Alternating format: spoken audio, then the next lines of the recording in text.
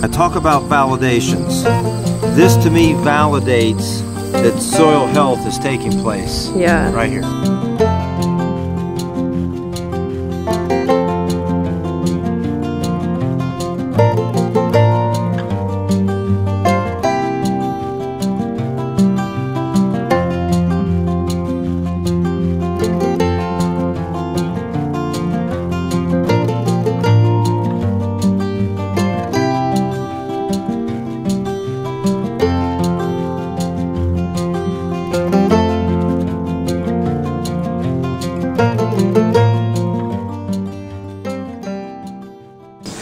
You want to introduce yourself Sure. and talk a little bit about where we are? Thank you very much. Yeah. We are sitting in west central Indiana, uh, Warren County, Indiana.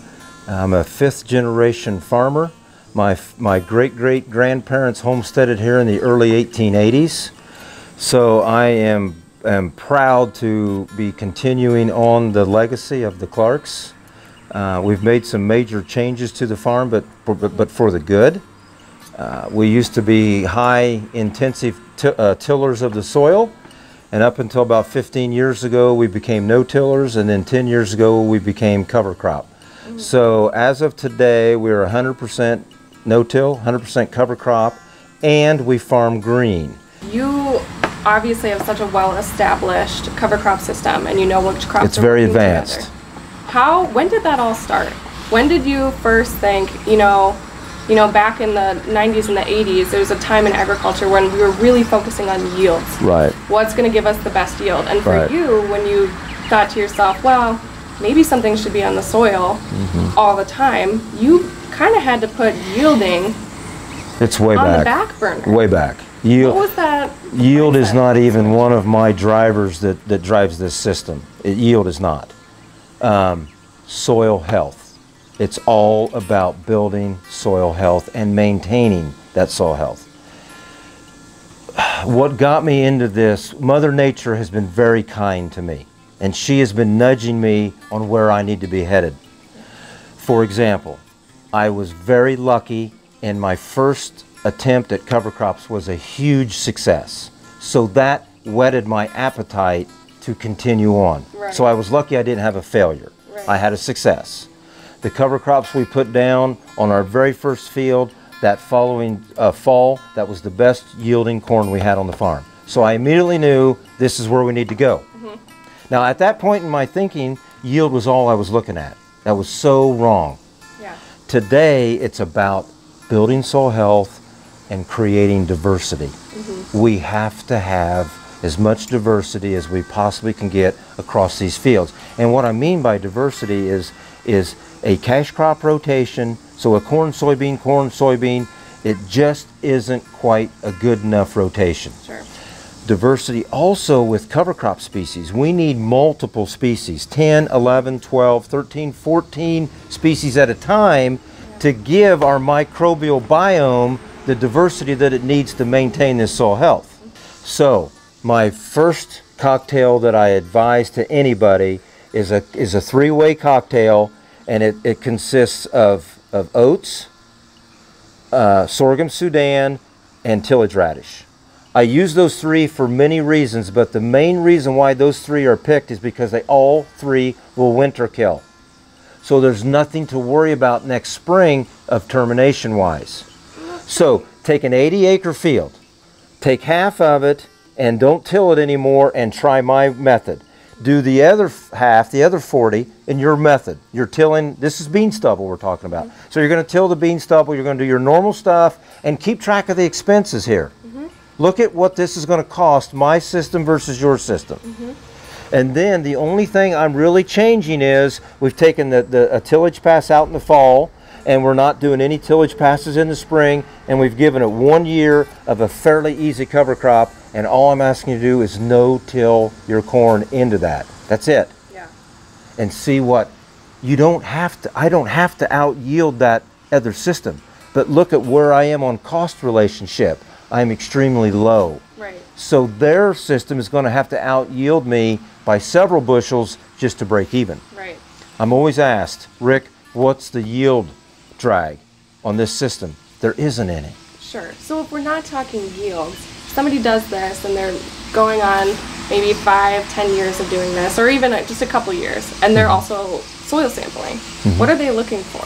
They're still looking for the same things. I still soil sample religiously because I am running a fine line here. If my system is crashing, I need to know now. Okay?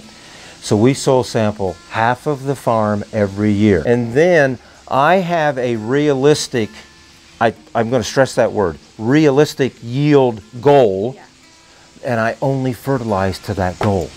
So I'm not being reckless. I'm not over applying. I mean, this is all about conservation. Mm-hmm. So we're not only building soil health, but we're being good stewards to the land and we're conserving our streams and our waterways and then ultimately the Gulf of Mexico.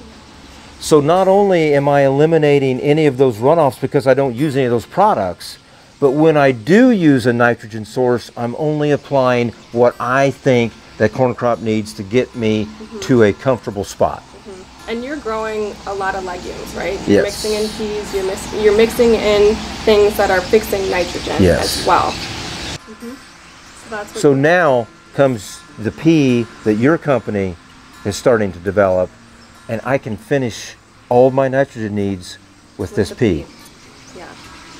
This is exciting to me. I didn't mention this earlier, but we are transitioning our farm to organic. Okay? Mm-hmm. Right now, we have our first 400 acres has been certified. That's a big deal. That's a big hurdle to get over.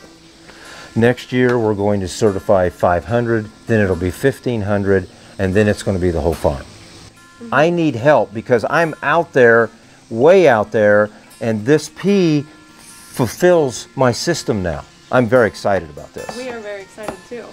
I do have a question for you on your no-tilling when it comes to the soon-to-be organic land.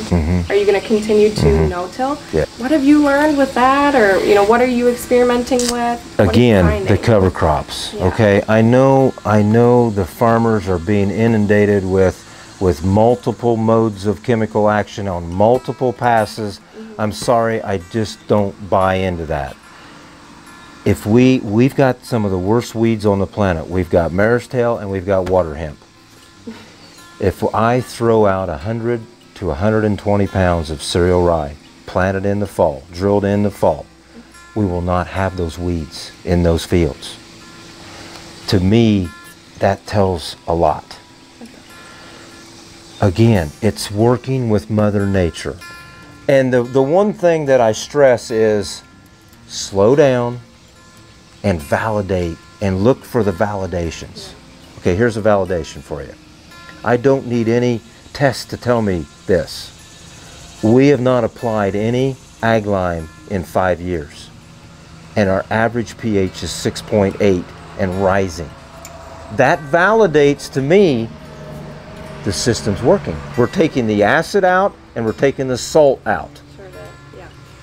hmm So let's transition a little bit. And regenerative agriculture is a term that's blown up all over. It's thrown around a lot. It's the new know, fancy word. What is your? What do you define regenerative agriculture as? Okay, I, I believe my system is, is truly regenerative ag. We are taking the cover crops well into their growth stages to maximize what that cover crop was intended to do for me. If it's a cereal rye, I intend for it to be an erosion control and a sequester of nutrients. If it's a legume, I'm wanting it to fix nitrogen. So why in the world would I want to terminate that on April the 2nd? I don't. I want it to go into May. Mm-hmm. And now I've doubled, tripled, quadrupled the amount of nutrient load that species has either sequestered or fixed. That only benefits me. Now, with that all being said, I am putting down so much more biomass. That's where this all is headed here biomass. The more biomass I lay down, the more feed I have to feed the microbes, the better my system is regenerating what's going on. It's beyond a trend. Now, this is what I typically tell people when I speak at, at, at wherever people want me to come and speak to them. I am way over to the side over here. You don't have to come over and meet me over there. meet me halfway. You know, mm-hmm. maybe you're not going to eliminate all of your fertilizers. That's mm-hmm. fine.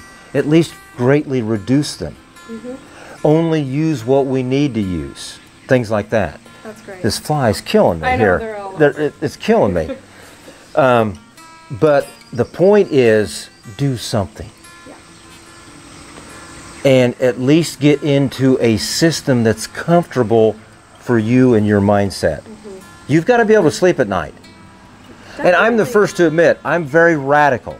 Most people may not agree with everything I'm saying. I'm being too hard on this. Uh, the, my system's going to crash. I don't know if it is or not. I can't guarantee that. I'm monitoring it very closely. Yeah. You don't have to come all the way to me. Please meet me halfway, and it'll be a better world.